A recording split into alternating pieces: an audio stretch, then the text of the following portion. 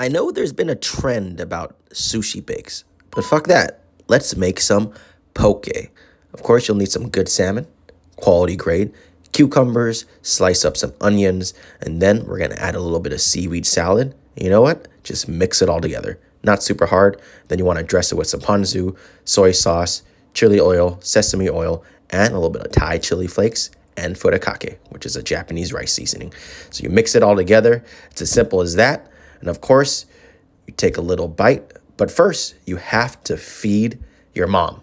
Of course, feed her a little bite, have her taste test. Is it good? It's good. And now it's your turn for the first bite. Here we go. Yum. Try it out.